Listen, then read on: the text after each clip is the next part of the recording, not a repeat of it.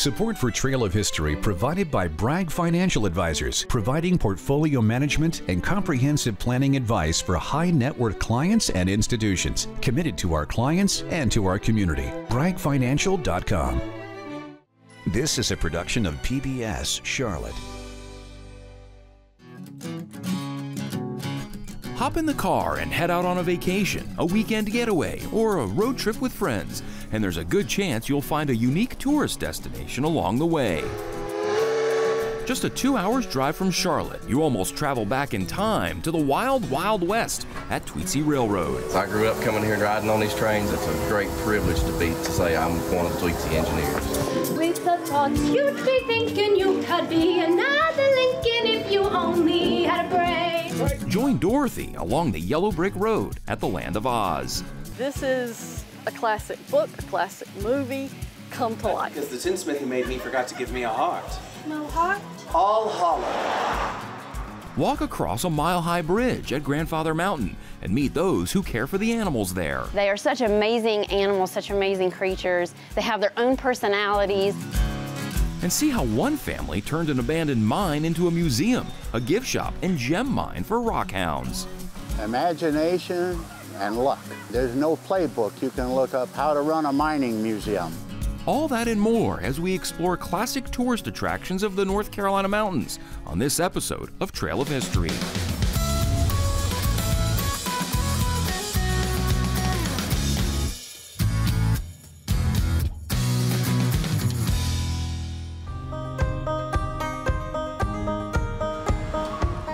It's no secret Americans love to hit the road and see the sights. Savvy entrepreneurs over the past century have come up with creative ways to draw in the crowds.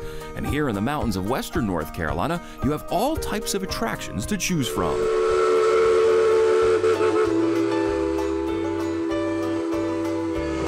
Welcome aboard the Tweetsie Railroad. Located between Boone and Blowing Rock, what people expect is a exciting Wild West experience on the train. Keep your eyes peeled. Our number 12 locomotive is 107 years old. They can see it, they can smell it, they can hear it. There are cowboys, there's actions, there are horses. And I am Chris Robbins, president of Tweetsie Railroad. It's, it's fun. You can be a cowboy, you can be a locomotive engineer, you can be a conductor. Kids can live out their fantasy here. The Tweetsie Railroad, as we know it today, holds a unique place, not only in North Carolina's history, but American history. Tweetsie Railroad is North Carolina's first theme park. In fact, it was one of the first theme parks in America. And a lot of Wild West theme parks cropped up in the late 1950s and 60s because every show on television was a Western. In the era of mega theme parks owned by corporations, Tweetsie stands out as a throwback of sorts. Many uh, Wild West theme parks have come and gone over the years. Most of them are gone, but we still survive. My uncle and father started it back in 1956. They acquired a locomotive, had it restored down in the Southern Railroad shops in Hickory, North Carolina. Brought up here in 1957, and the park opened in July 4th, 1957. We have our number 12 locomotive, which is they call the Tweetsie locomotive. That's the only surviving locomotive of the East Tennessee and Western North Carolina Railroad.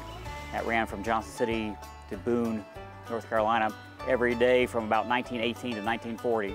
The Eastern Tennessee and Western North Carolina Railroad retired the number 12 locomotive in 1940, but continued operating the route for another decade.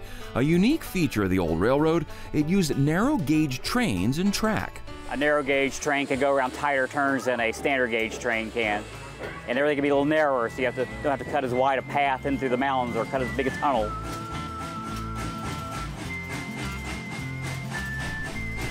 As you might imagine, not just anyone can make their way into the cab to take the reins of one of these historic iron horses. I've been playing trains about 10 years. Meet Tweetsie engineer DJ Romine. That picture was made uh, about 20 years ago. The guy on the right is the engineer. His name is Matt Ernst. He's our current director of engineering. Uh, of course, back then I was just a little kid really interested in the train and, and Tweetsie Railroad. It's, a great privilege to be to say I'm one of the Tweetsie engineers. The locomotives devour shovels of coal like kids eat candy. And you won't find anything electronic on any of them. Everything is mechanical, and that means maintenance, and a lot of it. Our number 12 locomotive is 105 years old. Our number 190 locomotive was built in 1943. The thing is, you got to keep them up. Director of Engineering Matt Ernst describes the work best. A lot of work. Everything with a steam locomotive is either hot, heavy, or dirty, or sometimes all three. We do an intense amount of preventive maintenance that's a continuous process, and we stay on top of it. And says to make repairs, you simply can't just go to the store for parts. We make virtually every part that's on it. With the equipment we have here in the shop, we've got some large lathes that also date back to the steam locomotive's heyday. There's no CNC uh, modern computerized machinery in this shop.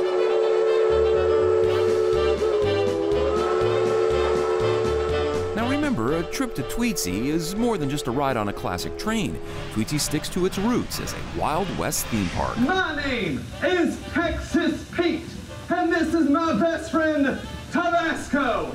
Passengers get treated to a full-on Wild Wild West show. There's enough for everybody. Some people like funny shows, some people want the action. Try to make sure we get a good mix of that for everyone to be able to enjoy, you know, some uh, some big spectacle going on and things like that too, just to kind of entertain the kids of all ages. There's so many sensory things going on with the rides and with the train and then with the entertainers. You can't be a passive guest here at Tweetsie.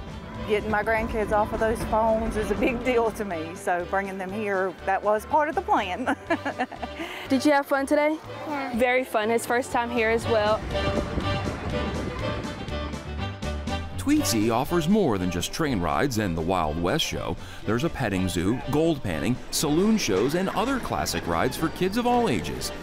According to Robbins, the park annually attracts around a quarter million visitors and credits sticking to what they know best for the park's success. I think just staying true to our mission, making it fun, keeping it fun, wanting to keep it running. North Carolina's growing, that helps. Uh, cities like Charlotte and Raleigh and Winston-Salem are all booming, bringing new people into the state. Um, some of them have never been to Tweetsie Road. A lot of these people came here to Tweetsie Road when they were kids. Now they're bringing their kids or their grandkids. But we're also introducing it to new audiences.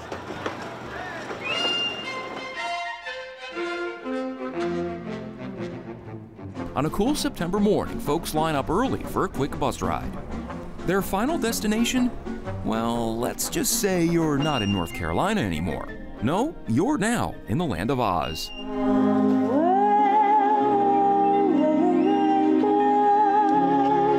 And the annual Autumn in Oz event. Autumn in Oz is an immersive theatrical festival, essentially. It's similar to a Renaissance festival, but with the Wizard of Oz. For some of the smaller guests, it might be a little too immersive. I don't like you, you witch. You don't like that mean old witch? To three-year-old Graylin's credit, the Wicked Witch doesn't discriminate, as our producer found out. About them, now get that thing out of my face. But don't worry, it's all part of the Autumn at Oz experience. Over three weekends in September, over 20,000 visitors from all over make their way to Beech Mountain to visit. It's like being in the movie, walking through a live play. It's really, really magical. It's her favorite movie. She's watched it since she was eight months old, and we've been coming since she was two. We have the full Kansas farm that is still there. So you go through Dorothy's house and it's neat and tidy. And then you go through the tornado cellar and you come out the other side and it's crooked. We have all of the characters along the Yellow Brick Road. You see live performances, you get photo ops, we have craft vendors and food vendors, and we sell Wizard of Oz memorabilia.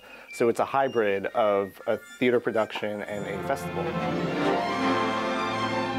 Based on Frank Baum's book, The Wonderful Wizard of Oz, the Land of Oz theme park opened to the public in 1970. And it was all part of a master plan to expand tourism in the region. Grover Robbins built Tweetsie Railroad in Blowing Rock in the late 1950s, and he wanted to develop the whole area of western North Carolina into a new tourist area. So his next project after Tweetsie was figuring out what to do with Beech Mountain, and they wanted to create year-round employment. So they brought up Charlotte-based designer Jack Pentes to the top of Beech Mountain and said, what can we do with this? And he said, this is Oz. Throughout the 1970s, thousands of people visited the Land of Oz to walk down the Yellow Brick Road, fly high in the iconic balloon ride, and meet the beloved characters from the Wizard of Oz movie. Unfortunately, though, along the way, the park ran into some trouble. In 1975, a fire broke through Emerald City. Carolina Caribbean, who built the park, went bankrupt. But one of the investors came in and bought the park, and then it ran through 1980. After closing in 1980, the park was left to decay as the owners debated what would happen next. It was a dark time for the classic tourist destination, but there was talk of demolishing the entire park to build homes. But by the early 90s, the Lighty family, who owned the land, decided to try something new. They decided to open the park for one day in July, and that grew into multiple events throughout the years, and now we run Autumn in Oz for three weekends every September. Oh, Dorothy, I think, is along the Yellow Brick Road. The fairy tale stories and movies we enjoy as children often bring feelings of nostalgia as adults. It was uh, awesome. I remember coming here as I was seven or eight year old and just uh, going through the forest, getting down to the uh, witch's cave. It was uh, a neat experience as a kid. A lot of fond memories. Ann Zeitz even got the t-shirt her first time to Oz. I went with my parents back then, and now I want to bring my son, who's 20 now. Meet cousins Sarah Luttrell and Martha Brame. I live in Sarnia, Ontario, Canada. And I live in Wilkesboro, North Carolina. This duo has some fond memories of the Land of Oz and a personal connection. My father and her mother are first cousins to Harry Robbins, who is one of the creators and owners of this. So we came every summer growing up, and it was just magical. Contacted her and I said, Are you up for it? Because I want to come. It's been really neat and to think, oh, look, it's the same. We remember Yeah, things it is the same. from years and years ago. The Yellow Brick Road obviously was just the best. I teared up. It's just it's just history for us.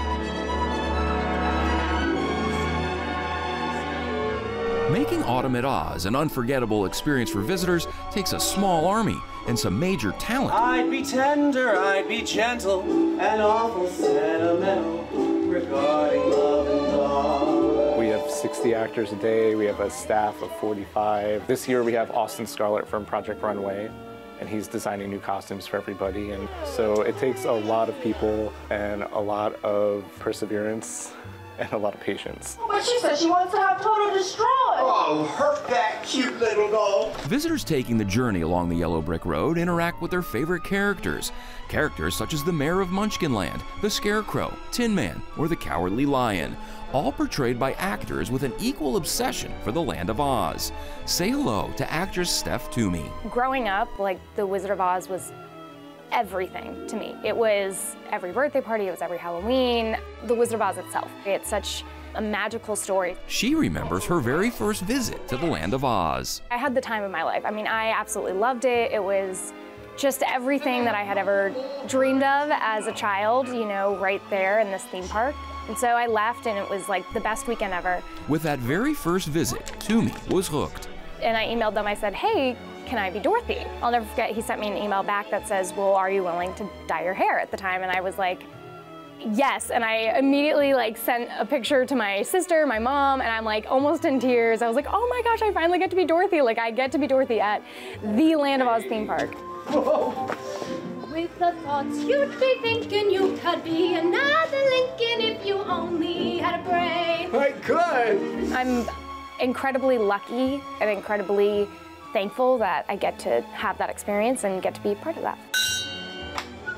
Who rang that bell? At the end of the Yellow Brick Road, visitors must knock on a large gate to enter the Emerald City. On this day, we met Tiffany Christian. This is my first year as part of the Oz family, as part of the cast, and it has been everything I thought it would be. I feel like a superstar. Like, I get to be in everybody's photo albums and their videos. I, I'm a part of people's family histories. I am a part of a magical day. Besides her role in the Emerald City, she also plays a key role back in Kansas. I'm also Aunt Em, and I am the first black Aunt Em that they've had. And so just tales of the other cast members when they see children's faces light up, when they see somebody that looks like them as part of this experience. And so we've grown to a point where our imaginations expand to include all kinds of people, and to be part of that is very important for me. The book, movie, and this iconic theme park in the North Carolina mountains continue to impact the lives of their fans. Remember little Graylin? It's wonderful to watch the magic because she thinks she's really in The Wizard of Oz. And so, the Land of Oz, through more than five decades, still stands as one of the North Carolina mountains' iconic tourist destinations, hopefully welcoming visitors for years and generations to come. Oh, we're off to see the wizard, the wonderful Bye-bye, wizard. Dorothy. Bye now. Scenic and majestic views throughout the western North Carolina mountains offer travelers a different perspectives of the natural world. For those who pass through the gates at Grandfather Mountain and take this winding mountain road all the way up to the top, they're rewarded with spectacular views, the unique mile high swinging bridge, a recently renovated nature center, and up close wildlife encounters. Grandfather Mountain is a classic North Carolina tourism destination. When you think of the whole state of North Carolina, from the mountains to the coast, a visit to Grandfather Mountain is just one of those things everyone needs to experience. Whether you're born and raised in North Carolina, or a recent transplant to the state like Bill Kinney. We decided to take our grandson on a little trip. I've always heard of Grandfather Mountain ever since I was a child, but I've never been here. They're amongst the tens of thousands of visitors to Grandfather Mountain each year, but they were not the first. The Cherokee called the mountain Tanawha. According to the Grandfather Mountain Stewardship Foundation website, the name Tanawha means a fabulous hawk or eagle. But European settlers to the region have another name for the mountain. Grandfather Mountain gets its name from the iconic silhouette of the mountain from a distance. I think it looks like an old man's face. The face is lying down looking up to the sky. Grandfather Mountain is comprised of over 6,000 acres with several primary stakeholders. We have Grandfather Mountain State Park, the Grandfather Mountain Stewardship Foundation, which operates and owns the attraction side of Grandfather. And then we also have uh, other properties that are owned by the Nature Conservancy and Blue Ridge Conservancy for conservation and preservation purposes. This rugged wilderness remained mostly inaccessible until the community of Linville was established in the late 1800s as a tourist destination. And it wasn't really, though, until the 1930s, 1940s that Grandfather Mountain became a travel destination.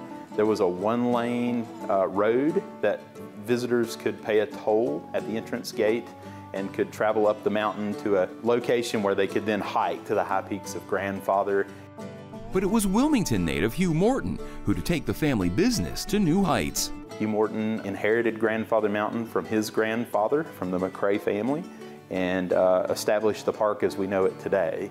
He had the vision for completing the park road to the summit of Grandfather Mountain at Linville Peak, which is the fourth highest peak of Grandfather, and had the vision for the mile high swinging bridge, and everybody thought he was crazy. The bridge cost $15,000 to construct. The grand opening of the Mile High Swinging Bridge was originally in September 2nd, 1952. And Governor Umstead, who was governor of North Carolina at the time, was here for the grand opening of the bridge, and his daughter was the first person to cross the bridge.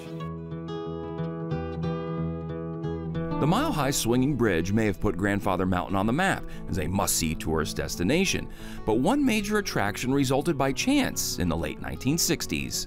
The animal habitats happened very much out of circumstance. Mildred the bear was brought to Grandfather Mountain to be a wild bear. She was released into the wild, and within 24 hours, she was back in the park hanging out with employees. And within a week, she had wandered to Linville and so the Wildlife Commission said Mildred's going to have to go into captivity. But at that point, Mr. Morton had fallen absolutely in love with her and decided to keep her at Grandfather Mountain. And so Mildred the bear is the reason we have the environmental animal habitats here at Grandfather Mountain. The first bear habitat was built in 1973, and Mildred the bear lived at Grandfather Mountain for nearly 27 years until her passing in 1993. But her paw print on the mountain was certainly made. Today, you can see much more than just bears at the park. Here at Grandfather Mountain, we have black bears, cougars, river otters, elk, and bald eagles that are on display in the habitats for the visitors to come see. All of the animals that we have here are native to North Carolina or were once here. Personally, my favorite probably would be the otters. Um, I really love how playful they are. They're very intelligent. The cougars would be a very close second because I'm a cat person as well. Grandfather Mountain animal curator Christy Tipton says the animals serve a purpose. The reason that we have the animals here is it's a good opportunity for people that don't always get a chance to see these animals out in the wild to come and see them, you know, help form connections with them, learn all about them, and learn how they are important to the environment. Tipton adds that each animal at the park is there for a reason. They have either been raised around humans, so they're too used to people. Some of them have been orphaned out in the wild, got too used to people when they were, you know, brought into a rehabber. Some of them have been injured out in the wild, and they can't be released due to those injuries. So all of them are here because they cannot live on their own in the wild. The best part about working with the animals, uh, for me, is just forming the relationships with them. And from species to species, they're just so different and so amazing in their own way. So it's just incredible to be able to work with these guys. There's lots to do at Grandfather Mountain, and even a bit of Hollywood history. There's been many films and commercials uh, recorded on Grandfather Mountain. The most famous is the Forrest Gump movie. There was a scene filmed here on one of our switchbacks on the road going to the summit of Grandfather Mountain where Tom Hanks ran across country as Forrest Gump. But the runner in the film was actually Tom Hanks' brother. He was his body double that did a lot of the running scenes in the movie. And so Tom Hanks was not here that day uh, filming that, it was his brother. Now, there's one thing you definitely want to consider when planning a trip to Grandfather Mountain, and that's the weather. So, Grandfather Mountain is a place of extreme biological diversity, but it's also known for its weather extremes. Um, this is known as probably the windiest place in North Carolina, with winds exceeding 124 miles per hour. Today, here at Grandfather Mountain, we have 50 to 60 mile an hour winds. For safety, staff regularly measure the wind speed and close off access to the swinging bridge if gusts exceed 50 miles per hour. Even moderately high winds add to the experience when crossing the iconic swinging bridge. But even on a windy day, Jesse Pope says Grandfather Mountain is so much more. The biggest part of Hugh Morton's vision here at Grandfather was he always wanted to protect the resources he wanted to have public access so people could come and experience it. And it's a really special, iconic, international destination.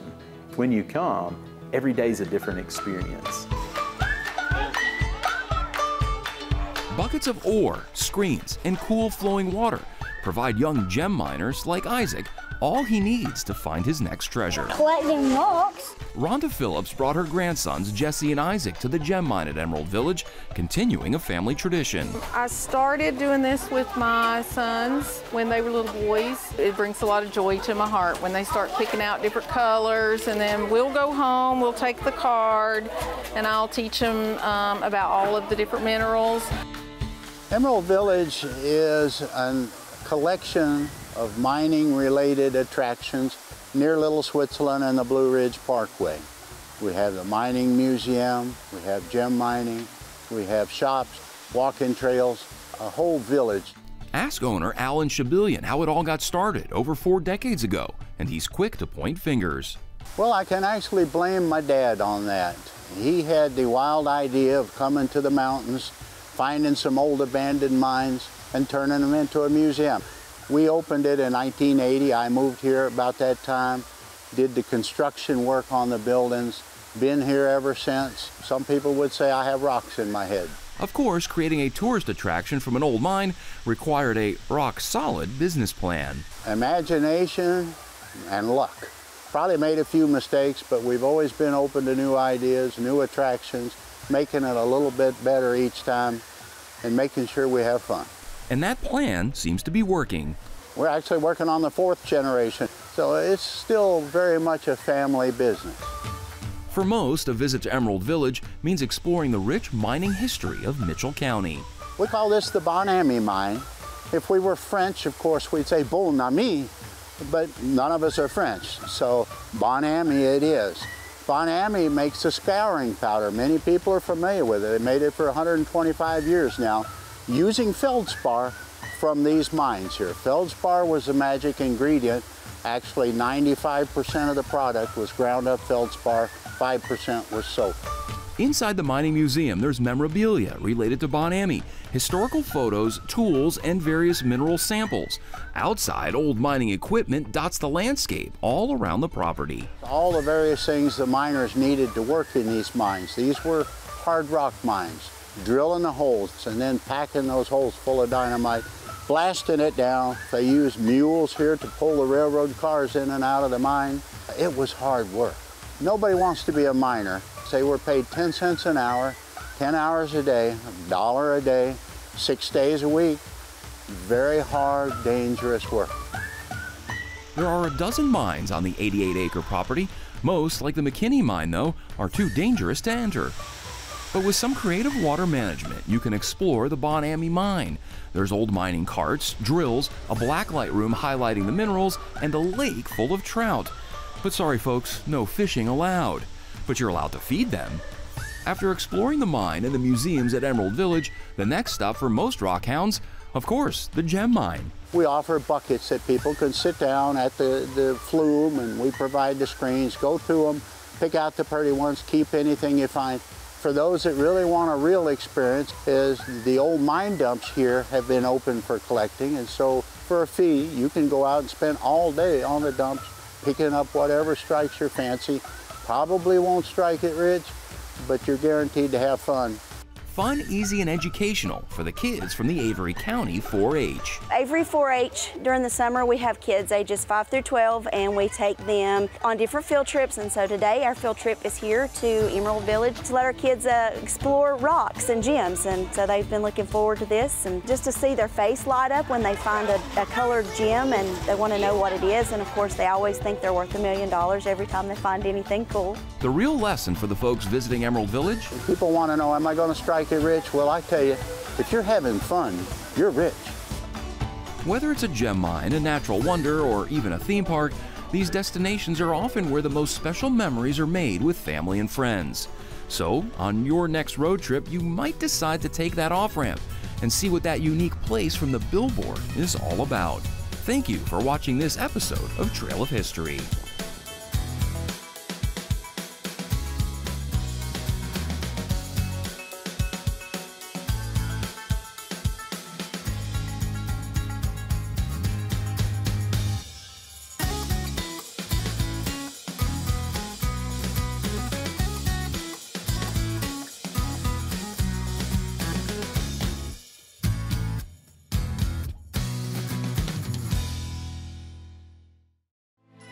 Production of PBS Charlotte.